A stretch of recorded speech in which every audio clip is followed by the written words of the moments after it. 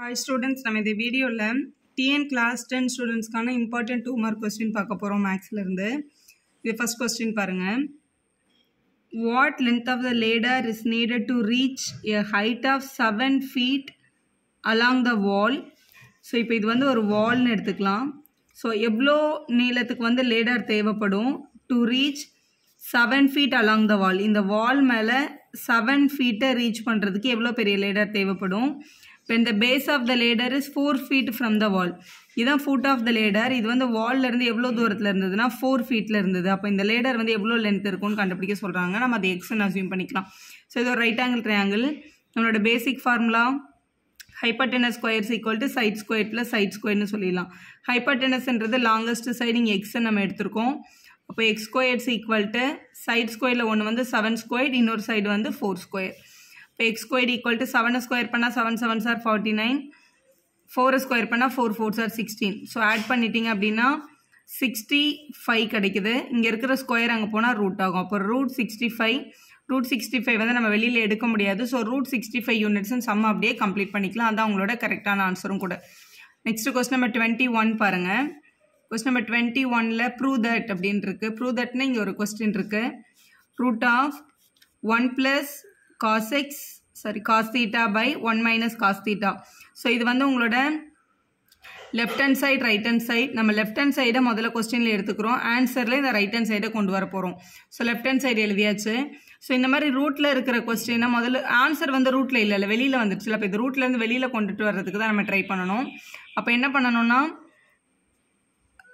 Rationalisation பண்ணுவோம்ல அதே பேட்டர்னில் பண்ணுவோம் நம்ம. இப்போ கீழே வந்து ஒன் மைனஸ் காஸ் தீட்டான் இருக்கு. அப்போ இது கூட ஒன் ப்ளஸ் காஸ் தீட்டாவை டிவைட் பண்ணுவோம். One plus cos theta by one plus cos தீட்டான்னு எழுதிக்கோங்க. அப்போ இது என்ன ஆகும்னா root of one plus cos theta one plus cos தீட்டாவும் one plus cos theta ஸ்கொயர்னு வரும். கீழே one minus cos theta one plus cos theta. ஒரு டேர்ம் மைனஸ்லேயும் ஒரு டேர்ம் ப்ளஸ்லேயும் இருந்துச்சுன்னா A squared minus B squared formula அதனால இதை ஒன் ஸ்கொயர்ட் மைனஸ் காஸ் ஸ்கொயர்னு எழுதிக்கலாம். ரொம்ப ஈஸி ஏ மைனஸ் பியும் ஏ ப்ளஸ் பியும் இருக்குது டினாமினேட்டரில் அதோட formula A square minus B ஸ்கொயர்னு எழுதிட்டோம் அப்படின்னு யோசிக்கணும். ஸோ இது எல்லாமே ரூல்ஸ் இதை ஒன்னை ஸ்கொயர் பண்ணால் ஒன்று தான். இப்போ ஒன் மைனஸ் காஸ் ஸ்கொயர் தீட்டான்றது சைன் ஸ்கொயர் தீட்டாவோட வழி உங்களோட first identity minus cos square அந்த பக்கம் போனால் ப்ளஸ் காஸ் ஸ்கொயர் தான் ஆகும். இப்போ sine square plus cos square ஒன்னுன்ற ரூல்லேருந்து காசு இங்கே கொண்டு வந்தால் ஒன் மைனஸ் காஸ் ஸ்கொயர் வந்து டினாமினேட்டர் என்னன்னு எழுதிக்கலாம். சைன் ஸ்கொயர் அப்படின்னு எழுதிக்கலாம். ஸோ ரூட் ஆஃப் இந்த கொஸ்டினில் நியூமரேட்டரில் ஒன் ப்ளஸ் காஸ் சீட் அதை ஹோல் ஸ்கொயர் இருக்கிறது வெளியில் எடுத்துட முடியும். டினாமினேட்டரில் தனித்தனியாக ஸ்கொயர் இருக்கிறதுனால வெளியில் வராது. அதனால் இந்த ரூல் அப்ளை பண்ணி இதை சைன் ஸ்கொயர் தீட்டான்னு எழுதிக்கலாம். ரூட்டுக்குள்ளே ஸ்கொயர் டேர்ம் இருந்தால் ஒன் டைம் வெளியில் வந்துடும் அப்போ இது ஒன் ப்ளஸ் காஸ் தீட்டான்னு வெளியில் வரும். இது சைன் தீட்டான்னு வெளியில் வந்துடும் டினாமினேட்டரில் இருக்க சைன் தீட்டா ரெண்டு பேருக்குமே காமன் அப்போ இதை ஒன் பை சைன் தீட்டான்னு ஒரு டேர்மாகவும் காஸ் தீட்டா பை சைன் தீட்டான்னு ஒரு டேர்மாகவும் ஸ்ப்ளிட் பண்ணிடலாம். ஸோ நமக்கு நல்லா தெரிஞ்ச ஐடென்டி நல்லா தெரிஞ்ச ரூல் வந்து ஒன் பை சைன் தீட்டான்றது சைனோட ரெசிப்ரோக்கல் சைனோட ரெசிப்ரோக்கலோட formula cosecant theta cos theta by sine theta அப்படின்றது யாரோட ஃபார்முலானா காட் தீட்டாவோட ஃபார்முலா ஸோ ஒன் பை சைனை வந்து கொசிக்கன் தீட்டான்னு எழுதிடலாம். Cos theta by sine theta வந்து காட் தீட்டான்னு எழுதிடலாம். இதுதான் நமக்கு கொஸ்டினில் கொடுத்துருந்த ஆர்ஹெச்எஸ் அப்போ வந்து ஹென்ஸ் ப்ரூடுன்னு எழுதி செம்ம கம்ப்ளீட் பண்ணிடலாம். இது ரொம்ப சிம்பிள் இந்த கொஸ்டினை ஆன்சர் பண்ணுறது நெக்ஸ்ட் கொஸ்டின் பாருங்களேன். The radius of the sphere is increased by twenty five percentage then find the percentage increase in it surface ஏரியான்னு கேட்டிருக்காங்கல்ல. இது வந்து ரொம்ப சிம்பிளாக நம்ம ஆன்சர் பண்ணலாம். முதல்ல பர்சன்டேஜ் இன்க்ரீஸ் அப்படின்னு கேட்குறாங்கல்ல. ஸோ பர்சன்டேஜ் இன்க்ரீஸ் அப்படின்னா பர்சன்டேஜ் இன்க்ரீஸ் எவ்வளோ பர்சன்டேஜ் இன்க்ரீஸ் ஆகுது? இல்லை டிக்ரீஸ் ஆகுது? எப்படி வேணாலும் கேட்கலாம். எப்படி கேட்டாலும் ஃபஸ்ட்டு கண்டுபிடிக்கிற சர்ஃபேஸ் ஏரியாவையும் ரெண்டாவது கண்டுபிடிக்கிற சர்ஃபேஸ் ஏரியாவையும் இப்போ வந்து ஒரு சர்க்கிள் இருக்குது இந்த சர்க்கிளோட ரேடியஸ் வந்து ஒரு ஹண்ட்ரட்னு வச்சுக்கோங்களேன். அதுக்கப்புறம் எவ்வளோ வந்து இன்க்ரீஸ் ஆகிருக்கு டுவெண்ட்டி ஃபைவ் பர்சன்டேஜ் இன்க்ரீஸ் ஆகிருக்கு டுவெண்ட்டி ஃபைவ் பர்சன்டேஜ்னா ஹண்ட்ரடுக்கு டுவெண்ட்டி ஃபைவ் அதிகமாகிருக்குன்னு அர்த்தம். ஸோ இது ஹண்ட்ரடாக இருந்தால் அடுத்த ரேடியஸ் வந்து ஹண்ட்ரட் அண்ட் டுவெண்ட்டி ஃபைவ் அதுதான் அதோட மீனிங் ஸோ ஒரு ரேடியஸ் ஹண்ட்ரட் இன்னொரு ரேடியஸ் வந்து ஹண்ட்ரட் அண்ட் டுவெண்ட்டி ஃபைவ் இந்த முதல்ல இருக்க சர்க்கிளோட சர்ஃபேஸ் ஏரியாவுக்கும் ரெண்டாவது இருக்க சர்க்கிளோட சர்ஃபேஸ் ஏரியாவுக்கும் எவ்வளோ பர்சன்டேஜ் பெருசாக இருக்குன்னு கண்டுபிடிங்க அப்படின்னு கேட்குறாங்க ஸோ இதில் முதல்ல இதில் பெரிய சர்க்கிள் தான் பெருசு. அப்போ நியூ சர்ஃபேஸ் ஏரியாவிலேருந்து ஓல்டு சர்ஃபேஸ் ஏரியாவை மைனஸ் பண்ணோம் அப்படின்னா எவ்வளோ வந்து இன்க்ரீஸ் ஆகிருக்குன்றதை நம்ம கண்டுபிடிச்சிடலாம். இதோட பர்சன்டேஜை கண்டுபிடிக்கிறதுக்கு எப்போவுமே பர்சன்டேஜ் வேணும்னா நம்மளுக்கு என்ன வேல்யூ வேணுமோ அது பை டோட்டல் இன்ட்டு ஹண்ட்ரட்னு சொல்லுவாங்க. அதாவது old surface area into hundred அதுதான் நம்மளோட பேசிக் ஃபார்முலா இப்போ இது ரொம்ப ஈஸி பாருங்களேன். கொஸ்டினில் வந்து ஸ்பியர் பற்றி தானே சொல்லியிருக்காங்க. ஸ்பியரோட சர்ஃபேஸ் ஏரியாவோட ஃபார்முலா ஸ்பியரோட சர்ஃபேஸ் ஏரியா வந்து four pi R square is equal to இப்போ இங்கே கொஸ்டினில் முதல்ல new surface area four pi new சர்க்கிள்ன்றது இந்த பெரிய சர்க்கிள் அதோட ரேடியஸ் வந்து நம்ம ஒன் டுவெண்ட்டி ஃபைவ்னு எடுத்திருக்கோம். ஒன் டுவெண்ட்டி ஃபைவ் ஸ்கொயர்னே போட்டுக்கோங்க. Minus old surface area four pi small R square வந்து நம்ம ஹண்ட்ரட்னு எடுத்துருக்கோம். ஹண்ட்ரட் ஸ்கொயர்னு போட்டுக்கோங்க. டிவைடட் பை மறுபடியும் ஓல்டுன்றது அந்த உள்ளே இருக்கிற circle four pi hundred square multiple by hundred இதை மட்டும் கால்குலேட் பண்ணாலே போதும். இப்போ மேலே ரெண்டு டேர்ம்லையுமே ஃபோர் பை காமனாக இருக்குது ஃபோர் பையை வெளியில் எடுத்துட்டோம் அப்படின்னா one twenty five square minus hundred ஸ்கொயர்னு எழுதிக்கலாம். டினாமினேட்டரில் ஃபோர் பை ஹண்ட்ரட் ஸ்கொயர் அப்படின்றத ஹண்ட்ரட் இன்ட்டு ஹண்ட்ரட்னு எழுதிக்கோங்க. இங்கே வெளியில் ஆல்ரெடி ஒரு ஹண்ட்ரட் இருக்குது இந்த வெளியில் மேலே இருந்த ஹண்ட்ரடும் கீழே இருந்த ஹண்ட்ரடும் கட் ஆயிடுச்சு. இந்த ஃபோர் பையும் இந்த ஃபோர் பையும் கட் ஆயிடுச்சு. இதை தனியாக ஸ்கொயர் பண்ணி இதை தனியாக ஸ்கொயர் பண்ணி ஆட் பண்ணுறதை விட நமக்கு நல்லா தெரிஞ்ச formula A square minus B square வந்து எப்படி எழுதிடலாம்? A plus B into A minus பின்னு எழுதிடலாம். இப்போ ஒன் டுவெண்ட்டி ஃபைவ் ஹண்ட்ரடையும் ஆட் பண்ணால் நமக்கு கிடைக்கிறது two twenty five multiple by one twenty ஃபைவ்ல ஹண்ட்ரடை மைனஸ் பண்ணோன்னா நமக்கு கிடைக்கிறது டுவெண்ட்டி ஃபைவ் ரெண்டுத்தையும் ஆட் பண்ணி ஒரு தடவை எழுதுங்க. ரெண்டுத்தையும் மைனஸ் பண்ணி ஒரு தடவை எழுதுங்க. ஆன்சர் கரெக்டாக வரும். By hundred twenty five one sir twenty five four சார்னு கிடைக்குது. அப்போ டூ டுவெண்ட்டி ஃபைவ் ஃபோரால் டிவைட் பண்ணால் கிடைக்கிறது தான் நம்மளோட percentage five four sir twenty balance two six R அப்புறம் ஒரு டூ ஒரு ஃபைவ் கிடைக்குது. So fifty six point two five percentage வந்து இன்க்ரீஸ் ஆயிருக்குன்றது தான் உங்களோட கரெக்டான ஆன்சர் இப்போ கொஸ்டின் நம்பர் டுவெண்ட்டி த்ரீ பாருங்கள் டுவெண்ட்டி தேர்ட் கொஸ்டினில் standard deviation and mean of the data is six point five twelve point five அப்படின்னு கொடுத்துருக்காங்க. ஸ்டாண்டர்ட் டிவியேஷன் அப்படின்றத வந்து சிக்மா நம்ம எழுதுவோம். ஈக்குவல் டு சிக்ஸ் பாயிண்ட் ஃபைவ்னு கொஸ்டினில் இருக்குது மீன் ஆஃப் த டேட்டா வந்து டுவெல் பாயிண்ட் ஃபைவ் மீன்ன்றதை நம்ம எக்ஸ் பார்னு எழுதுவோம். X bar equal to twelve point ஃபைவ்னு கொடுத்துருக்காங்க.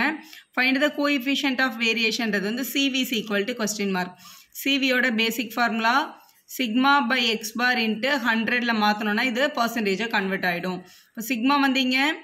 சிக்ஸ் பாயிண்ட் ஃபைவ் இது டுவெல் பாயிண்ட் ஃபைவ் இங்கே ஹண்ட்ரட் இங்கே பர்சன்டேஜ் இருக்குது இங்கே பாருங்களேன். டுவெல் பாயிண்ட் ஃபைவ்ன்ற நம்பர் ஹண்ட்ரடுக்குள்ளே எத்தனை டைம்ஸ் இருக்குது அப்படின்னு பார்க்குறது ரொம்ப ஈஸி ஏன்னா ஹண்ட்ரட்குள்ளே டுவெண்ட்டி ஃபைவ் வந்து ஃபோர் டைம்ஸ் இருக்குது twenty five four sir hundred நமக்கு தெரியும். டுவெல் பாயிண்ட் ஃபைவ்ன்றது வந்து டுவெண்ட்டி ஃபைவ்ல பாதி தான். ஸோ இது வந்து ஒன் டைம் இது வந்து எயிட் டைம்னு ஈஸியாக நம்ம கேன்சல் பண்ணிக்கலாம். இதை மல்டிபிள் பண்ணுங்கள் eight five sir forty balance four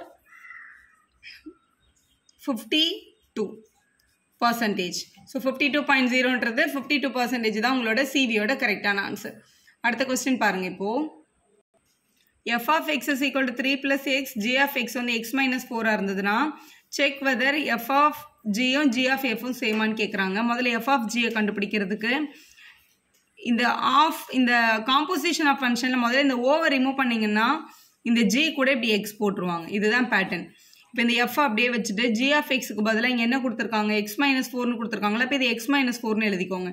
இப்போ இதை பார்க்க எஃப் ஆஃப் எக்ஸ் பேட்டர்னில் இருக்குது இது ஃபுல்லாக எக்ஸ்ன்னு யோசிங்க. எஃப் ஆஃப் எக்ஸ் மாதிரி இருக்குது எஃப் ஆஃப் எக்ஸோட ஃபார்மேட் என்ன? த்ரீ ப்ளஸ் எக்ஸ் அதாவது த்ரீ ப்ளஸ் இந்த எக்ஸுக்கு பதிலாக இங்கே எக்ஸ் மைனஸ் ஃபோர் இருக்கிறதுனால இங்கே எக்ஸ் மைனஸ் ஃபோர்னு எழுதிருவாங்க. த்ரீ ப்ளஸ் எக்ஸ் ஃபார்மேட்டில் எழுதணும். இந்த த்ரீயும் இந்த ஃபோரும் சப்ராக்ட் ஆச்சுன்னா மைனஸ் ஒன் அப்போ எக்ஸ் மைனஸ் ஒன் தான் நம்ம ஆன்சர் அடுத்து ஜி ஆஃப் எஃப்ஐ கண்டுபிடிக்கிறோம். அப்போ ஜி ஆஃப் எஃப் ஆஃப் எக்ஸ்னு எழுதிக்கணும் முதல்ல. அப்புறம் ஜி ஆஃப் எஃப் ஆஃப் எக்ஸுக்கு பதிலாக நம்மளுக்கு கொஸ்டினில் த்ரீ ப்ளஸ் எக்ஸ்ன்னு கொடுத்துருக்காங்க. த்ரீ ப்ளஸ் எக்ஸ்ன்னு எழுதிக்கோங்க. இப்போ இந்த கொஸ்டினை பார்க்க என்ன பேட்டர்னில் இருக்குது ஜி ஆஃப் எக்ஸ் மாதிரி இருக்குது ஜி ஆஃப் எக்ஸ் எப்படி எழுதணும்? எக்ஸ் மைனஸ் ஃபோர்னு எழுதணும். இங்கே எக்ஸுக்கு பதிலாக என்ன கொடுத்துருக்காங்களோ அதை எழுதிட்டு பக்கத்தில் ஒரு மைனஸ் ஃபோர் போடணும். அப்போ த்ரீ ப்ளஸ் எக்ஸ்ன்னு போட்டு மைனஸ் ஃபோர்னு போடணும். எப்படி பார்த்தாலும் இதை சப்ட்ராக்ட்னா என்ன தான் வரும்? மைனஸ் ஒன் தான் வரும்.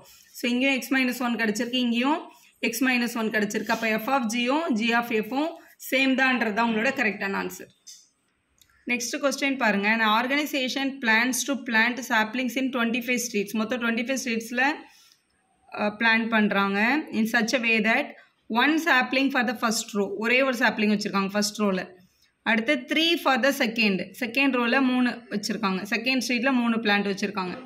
நயன் ஃபார் த தேர்டு மூணாவது ஸ்ட்ரீட்டில் நைன் பிளான்ஸ் வச்சுருக்காங்க and so on so how many plans will be required to complete for twenty five streets அப்போ மொதல் இதே மாதிரி டுவெண்ட்டி ஃபைவ் டேர்ம்ஸ் இருந்ததுன்னு அர்த்தம். இப்போ ஒன்று த்ரீ ஆயிருக்கு த்ரீ நைன் ஆயிருக்கு அப்படின்னா இது ஏபியா ஜிபியான்னு பாருங்கள் ஒரே நம்பரில் ஆடோ சப்ராக்டோ ஆயிருந்தா ஏபி மல்டிப்ளோ டிவைடோ ஆயிருந்தா ஜிபி அவ்வளோதான் ரொம்ப easy so one three sir three three three three த்ரீயாக மல்டிப்ளை ஆகிட்டே போயிருக்கு.